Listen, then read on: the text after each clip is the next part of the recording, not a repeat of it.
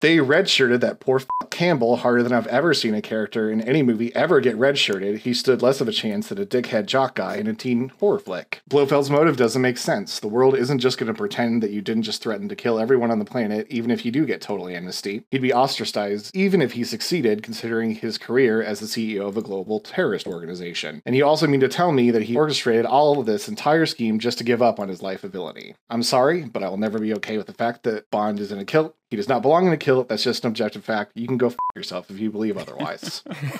oh, hey, remember that dude who tried to kill you? Let's have him at your wedding. And lastly, radioactive lint has to be the worst gadget in the entire franchise. I mean, seriously, how fucking stupid is that? Radioactive lint. In summation, I'm going to go ahead and rank this turd wrangling piece of shit dead last. All right, I just want to toast to Patterson. That was a fantastic rant. The 13 sins of OHMSS. Mm-hmm.